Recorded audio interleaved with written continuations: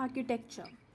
Kerala's architecture is a kind of architectural style that is mostly found in the Indian state of Kerala. Kerala's style of architecture is a unique Hindu temple architecture that emerged in the southwest part of India in a striking contrast to the Dravidian architecture which is normally practiced in other parts of South India. The architecture of Kerala has been performed or followed according to the Indian Vedic architectural science Vastu Shastra. Himachal Pradesh architecture Kath Kuni is an indigenous construction technique prevalent in the isolated hills of northern India, especially in the region of Himachal Pradesh. In Uttarakhand, a similar architectural style is known as Koti Banal. Geometrical comparison between the architecture of Kerala and Himachal Pradesh. Art is defined as a creative expression of a human being's skill. One way in which it can be expressed is through architecture. Architecture in Himachal Pradesh is especially rich in art. The houses have a peculiar shape which is pleasing to the eye but also functions as a whole, shapes like rectangle, prism, square, and triangle are used extensively in these buildings.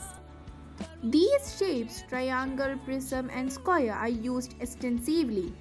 The base foundation of the house is cuboidal in shape. It is artistically pleasing, also efficient as there is more area on the base. The force exerted on the house is less. This prevents earthquakes and other natural disasters.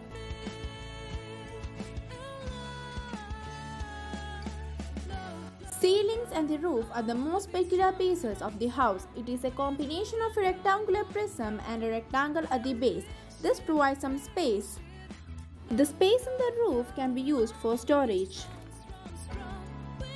Some houses can also have balcony which can be either in the standard rectangular shape or in the shape of circle, perhaps one of the most artistic piece of the house.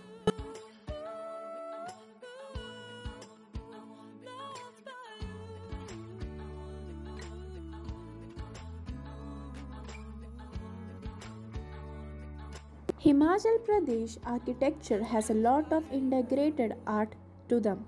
Let us integrate art in our lives.